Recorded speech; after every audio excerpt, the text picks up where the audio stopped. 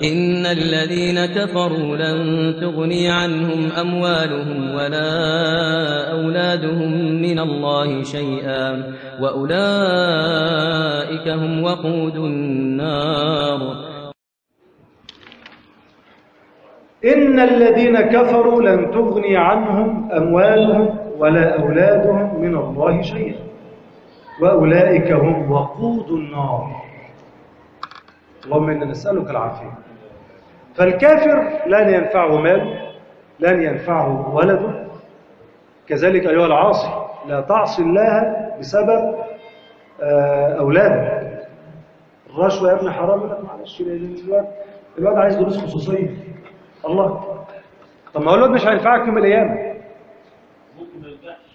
وممكن ما ينجحش. لا يا عم سيبه نجح ودخل كلية الطب. انت كسبان ولا خسران؟ انت خسران. لأنك تعرضت لوعيد كل جسد نبت من حرام فالنار أولى به. يبقى الرشوة دي محرمة فلوس حرام. والأموال اللي انت عمال تجمعها لسه بتكلم مع واحد امبارح. فبيقول لي يعني بيقترح عليا بيقول لي طب آخد يوم من الشغل أجازة ولا يومين؟ هو يقدر شغله يعني بيتحرك فيه.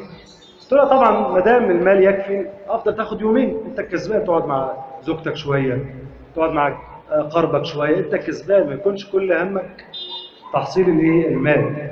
فكل ما تيجي فرصة إن ما دام مش هتأثر على معيشتك ومش بتتزنق في آخر الشهر لا. يسر على نفسك وافتح لنفسك أبواب خير.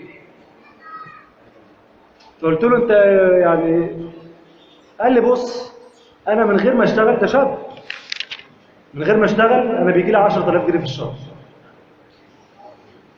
طبعا أنا فهمت كده إن هو معاه مليون جنيه في البنك بيطلع عليهم فايدة 10% تقريبا يعني حوالي 10000 جنيه في الشهر.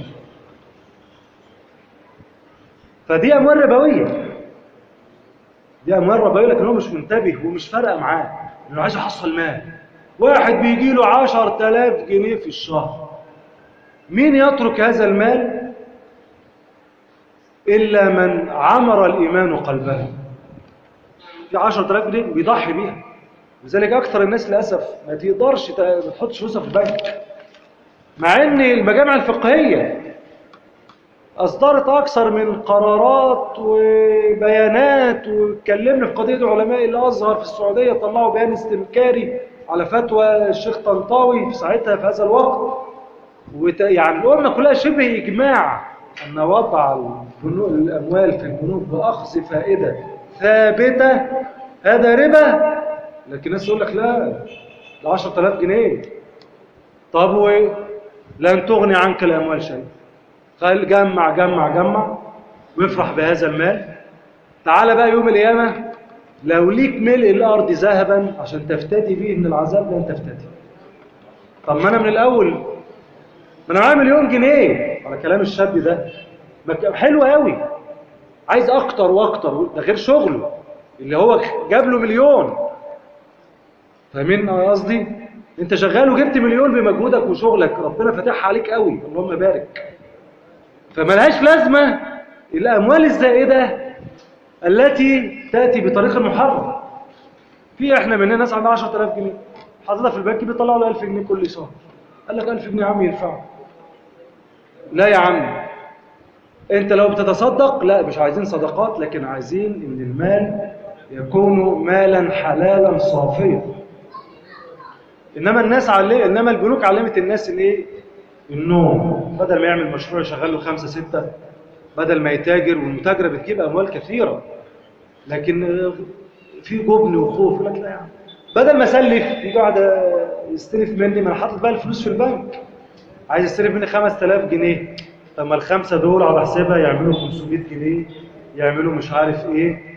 طبعا أنا قلت ال 10000 تعمل 1000 جنيه في السنة معلش. فال 5000 دول يعملوا آآ آآ قد كذا. فمبقاش في قرض حسن. فالناس تستدين من البنوك بالربا.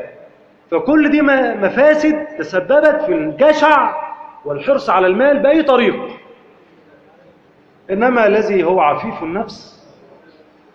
آه خايف على فلوسه بيحطها حساب جاري. آه لو لو المكان في البيت عنده مش آمن ومعاه اموال كثيره لك بص هو حساب جاري ولا أريد قرشا زائدا عفيف النفس. وربنا هيكرمه وهيعطيه أكتر.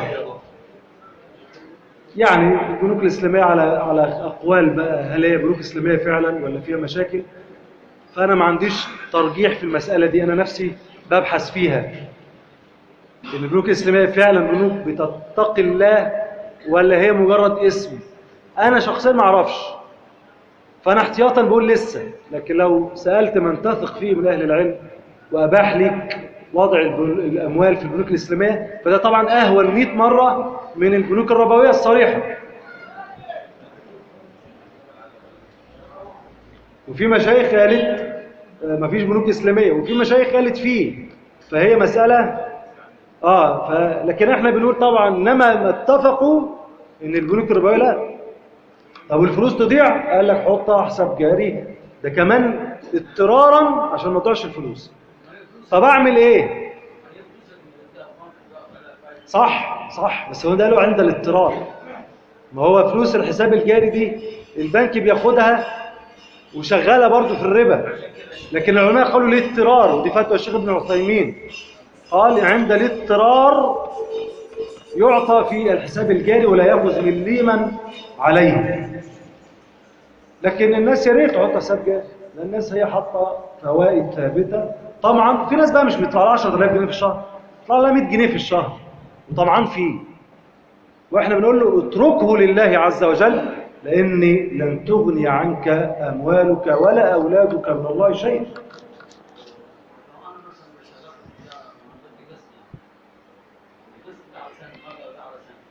اخر شهر أو شهرين خطوا فرض وضربتم لي فايده ثانية ربا.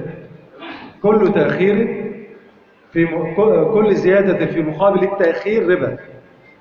أخرت عليا فإيه؟ هزود الفلوس عليك. ده ربا. لأنه ربط التأخير بالزيادة. وهو ده عين الربا. ولذلك واحد بي- بيقول لي على ال- ال- credit card دي اللي هي قال لي بس هو لو سدد في خلال 55 يوم اللي هو ال credit card اللي انت ممكن تسحب أموال بضعف مرتبك وتشتري انت مزنوق رحت كارفور وعايز تشتري ومعكش فلوس فبتسحب. قال لك اسحب زي ما انت عايز. بس لو سددت خلال 55 يوم مش هناخد عليك زيادة. فقلت له وجود الشرط الربوي يحرم المعاملة. أي نعم انت هت- هتسدد في الميعاد. لكن انت قبلت بوضع فيه شرط ربوي. لو زدت عن 55 يوم هنضيف عليك فايدة. فاحنا لا نقبل بعقد فيه شرط ربوي. فننتبه لذلك. إن الذين كفروا لن تغني عنهم أموالهم ولا أولادهم من الله شيئا. الآية دي صعبة أوي. وأولئك هم وقود النار الكفار حطبوا جهنم يوم القيامة. نسأل الله العفو والعافية. أسأل الله العظيم. رب العرش العظيم.